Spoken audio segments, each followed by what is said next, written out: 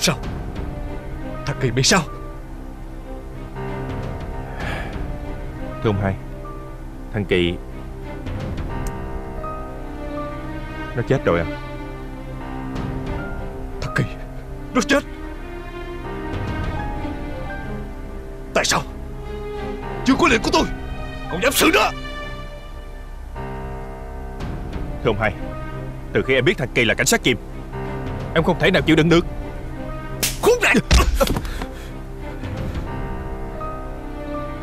Còn kiềm chế không được. Còn dám tự xử nó. Cậu học đánh thật Khương khi nào đi, Tao chỉ kêu mày. Đi theo dõi. Để biết hành tung của nó thế nào. Tại sao mày dám? Hả?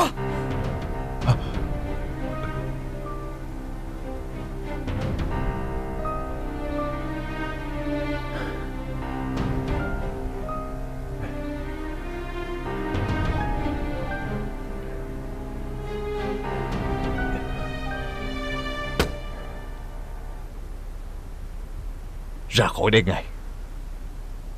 Trước khi tao đổi ý.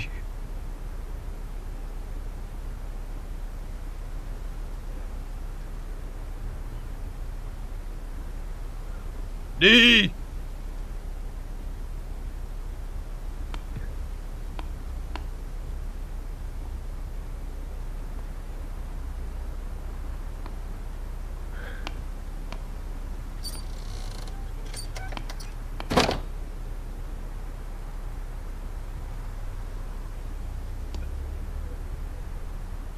Chuyện này xảy ra Cũng chính tại mày Dừng lại Chạy đi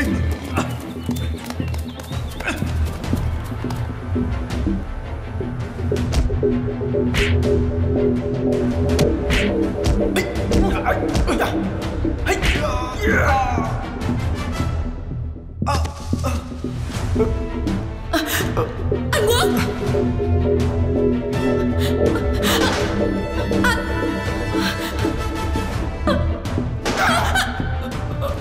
Anh Quốc Anh đừng có làm như vậy mà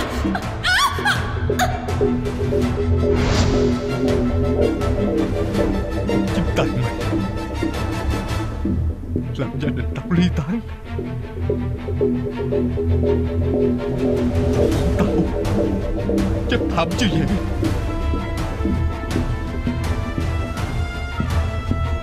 Chính là mày.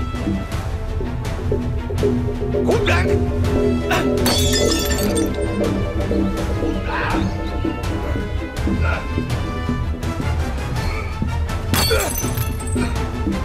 Giết mày.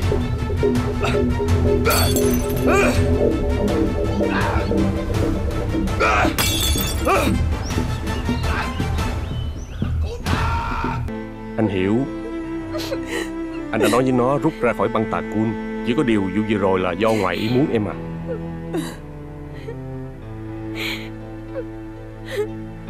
Ai đã bắt anh hai phải ra nông nổi này hả ba? Ba phải bắt hắn đền tội. Con hãy bình tĩnh đi. Ba cũng đã cho người truy ra tên đó rồi. Chắc chắn hắn ta sẽ đền tội thôi. Ba có thấy mặt tên đã bắn anh hai con không? Ba có nói chị Mỹ đi theo hỗ trợ Nhưng đêm khuya quá không nhận dạng được con à Tại sao hắn lại độc ác như vậy? Tại sao lại bắn anh hai con ra nông nổi như thế này? Ba không nghĩ gì đâu. Vì nếu hắn muốn bắn anh hai con chết á, Thì anh hai con khó mà sống được lắm. Ý của ba là hắn còn nương tay sao? Đúng vậy. Ờ với cự ly gần như vậy khó mà bắn trượt lắm con. Bây giờ chỉ hy vọng vào bản lĩnh của nó thôi Ba tin là chắc chắn anh hai con sẽ sớm bình phục lại Không có gì khuất phục được nó đâu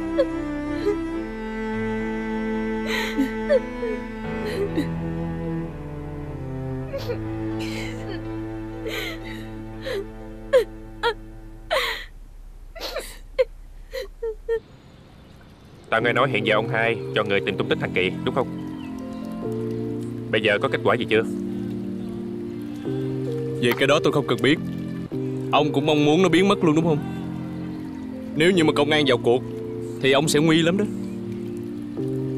Nói gì thì nói. Tao vẫn mong nó không bị biến mất hoàn toàn. Sao ông biết hay vậy? Ông còn nghĩ tới nó hả?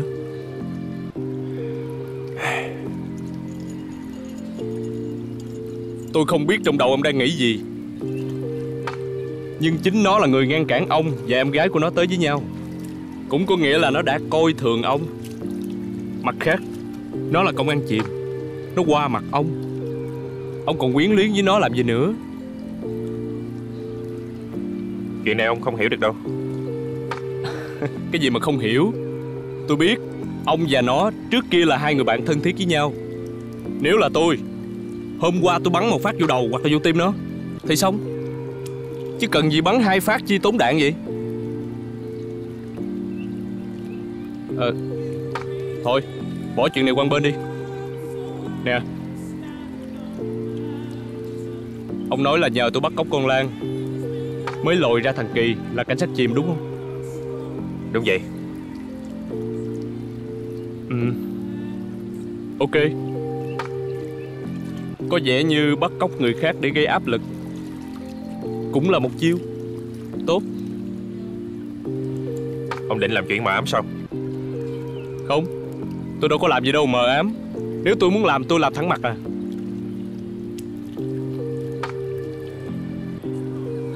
Mà nói vậy thôi. Tôi cảm ơn ông. Ông đã giúp tôi nhổ được cây gai trong mắt. Nếu nói vậy, Thì bây giờ ông đường đường chính chính, Quen với Hồng Ân rồi. Không. Đàn bà phụ nữ trên đời này thiếu gì? Hiện giờ cái tôi cần Là cái khác.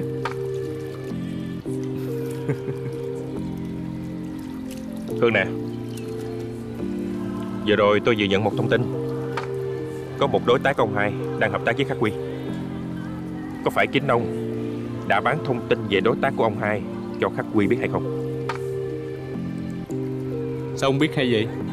Tôi có biết thông tin gì đâu mà bán.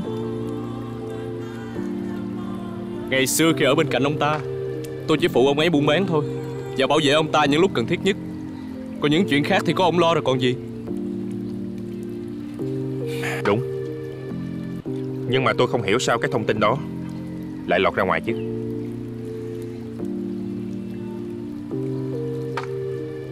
Đó là do chính đàn em của ông là thằng Kỳ đã bán thông tin. Không, Trong chuyện này thì chỉ có thằng Kỳ, Chứ không có ai khác. Không, Bản thân chuyện này tôi biết rất rõ.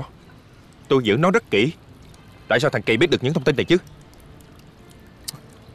Đơn giản thôi, vậy mà cũng hỏi. Ông có nhớ là những lúc giao hàng với nó không? Chỉ cần nó để ý là biết được đối tác của nó như thế nào rồi. Cái đó là nghiệp vụ của tụi công an mà. Sau đó nó về báo cáo lại với sếp của nó Về thông tin đó. Của ông hai. Rồi cứ tiến hành ngày bảy thôi. Ông có nhớ chuyện thằng Kỳ vừa rồi? Đã bị tụi khắc quy bắn Trong cái vụ bảo vệ ông hai. Chẳng lẽ nó lại bán thông tin cho ông ta sao? Cái đó chỉ là một màn kịch thôi. Nó muốn ghi điểm trong mắt ông hai. Còn về chuyện của tên sát thủ á chỉ là một màn kịch thôi. Ông hiểu ý tôi chứ?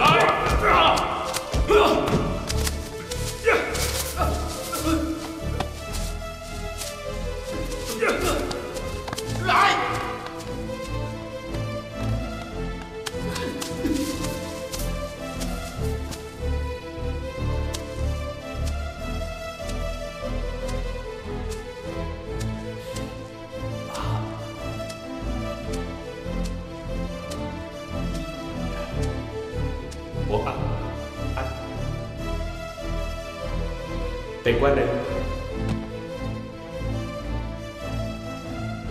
Ờ, Cảm ơn cậu. À vết thương của anh có sao không? Hả? Đây nè. Ông chỉ cần nhìn rõ cách ông hai phản ứng kìa Bảo vệ thằng Kỳ. Ông cũng đủ biết Là nó ghi điểm Trong mắt ông hai bao nhiêu rồi. Ông nghĩ tôi nói đúng không? Nhưng mà bây giờ á Thằng Kỳ thì cũng đã chết rồi. Coi như chúng ta đã thành công. Xem như anh em mình Đã nhổ được cây gai trong mắt.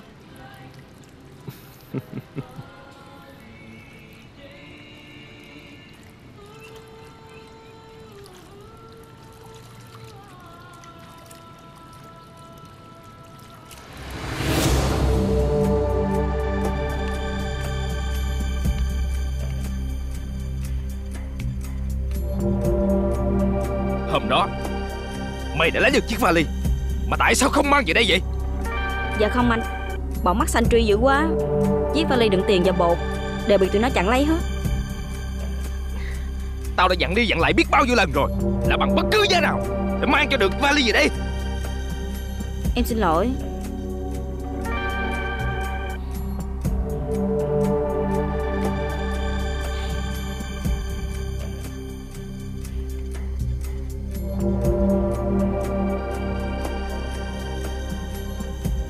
Tôi rất tin tưởng cô. Vì cô là người của lão thành nữ hoàng.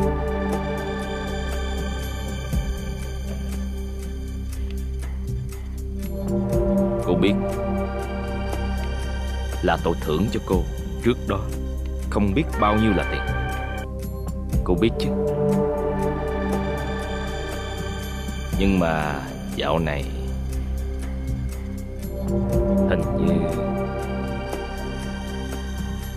Tôi thấy cô Không nhiệt tình cho lắm. Dạ không. Em được anh Thành đưa qua làm việc cho anh. Với em, anh cũng như anh Thành. Em tuyệt đối trung thành và làm việc hết mình. Còn những sai sót thì Em xin chịu trách nhiệm. Anh muốn sao thì em sẽ làm vậy.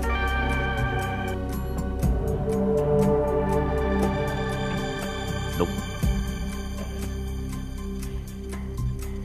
Có công thì được thưởng có tội thì phải chịu. Cô biết điều đó chứ? Dạ biết.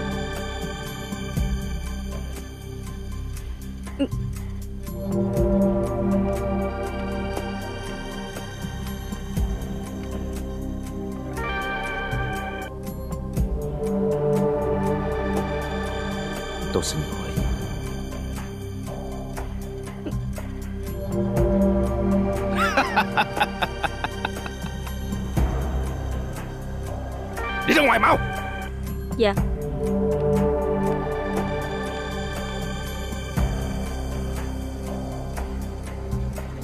Thank you.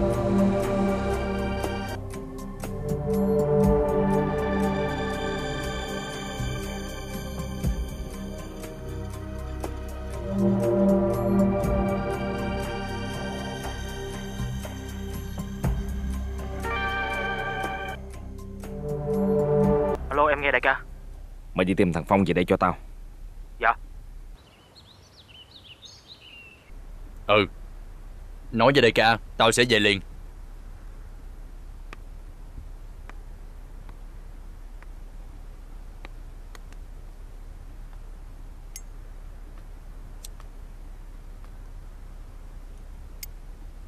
Khắc Quy nhắn tin gọi cậu về à? Dạ. Không có gì. Kêu em về gấp Không biết là có chuyện gì không?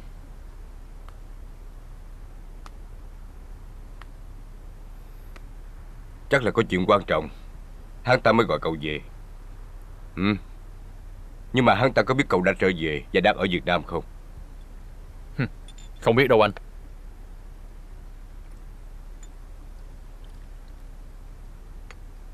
Thời gian vừa qua Cậu ở bên Campuchia. Cậu thấy thế nào? Dạ Nhờ có anh giúp đỡ. Cho nên em có cảm giác thoải mái lắm. Không giống như là đang chạy trốn. Campuchia là nhà của tôi mà. Mấy chiến hữu của tôi bên đó Cư xử với cậu cũng tốt chứ. Mấy anh em đối xử tốt lắm. Giống như là anh em một nhà vậy. Cho nên Em không có cảm giác ngại ngùng gì. Ừ. Cậu Phong à? Trong thời gian cậu sống bên đó Không Nói chính xác hơn là Cậu trốn bên đó. Khắc Quy có chu cấp gì cho cậu không? Không.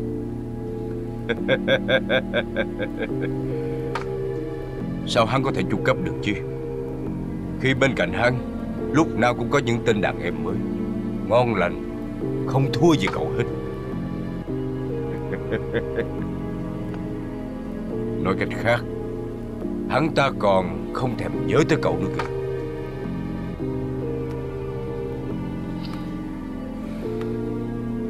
Trong mắt hắn lúc này, Chỉ có mấy tên đàn em của tôi là đáng giá thôi.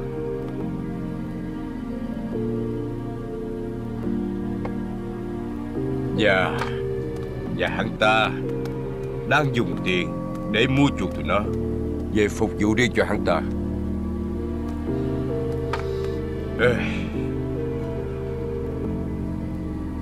Hãy gia nhập băng của tôi. Cậu sẽ có tất cả.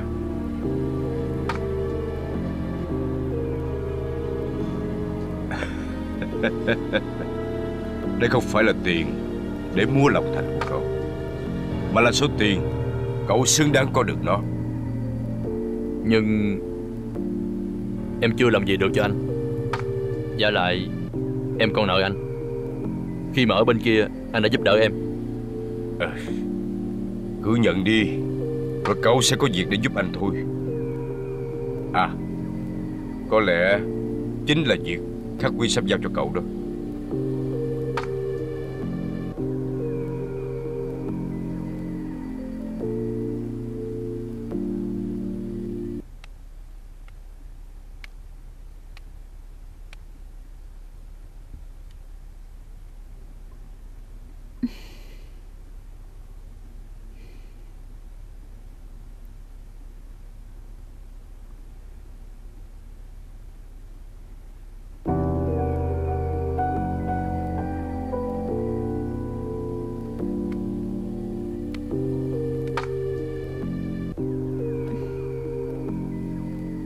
Là sao không gọi được cho anh chứ?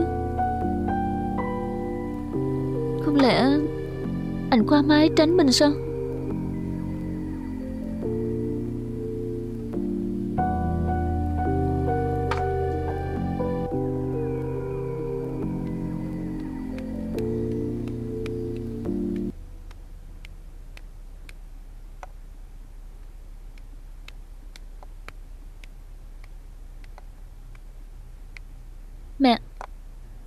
Con muốn nói chuyện với mẹ.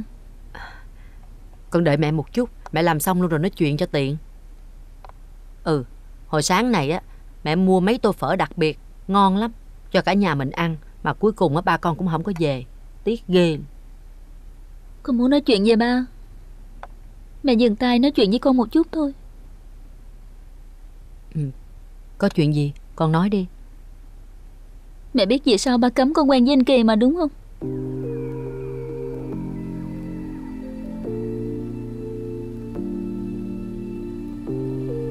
Mẹ không biết. Con nghĩ là mẹ biết. Chỉ có điều mẹ đang giấu con thôi. Nói cho con nghe đi mẹ. Mẹ cũng không chắc nữa. Nhưng mà mẹ nghĩ Ba con chắc có lý do riêng của ổng. Mẹ là người hiểu ba con nhất. Mẹ không biết Thì ai biết. Mẹ, con xin mẹ đó. Mẹ nói cho con nghe đi Mẹ không biết thật mà. Hay là đợi ba con về, Mẹ sẽ hỏi lý do giúp con nha. Ba có đợi nào nói cho con biết đâu. Nếu như vậy thì con đã biết sự thật rồi. Thôi con lên phòng đi.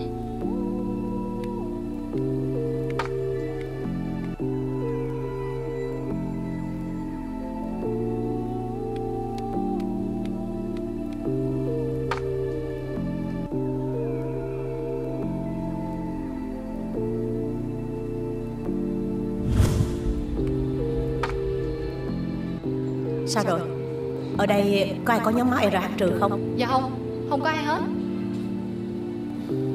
Có Tôi thuộc nhóm máu RH trừ Hãy lấy máu của tôi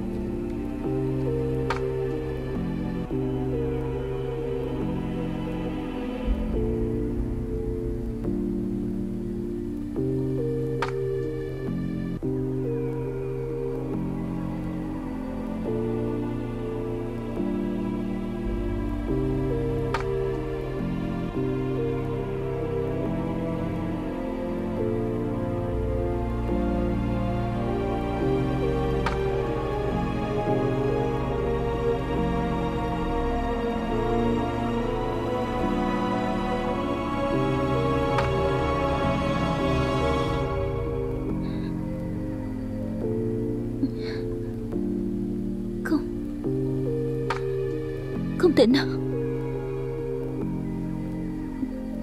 Chắc chắn là không thể nào. Không thể về được.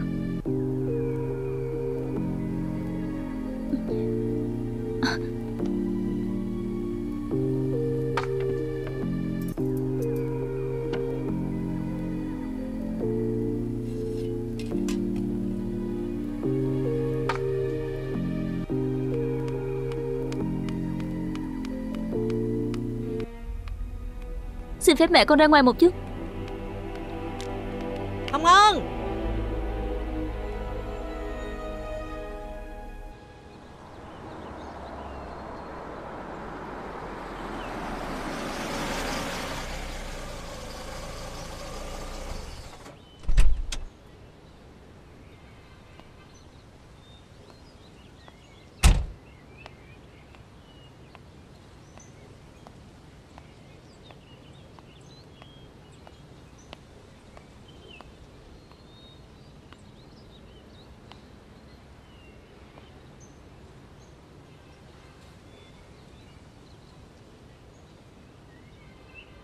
Ông hai, Ông hãy đợi đó.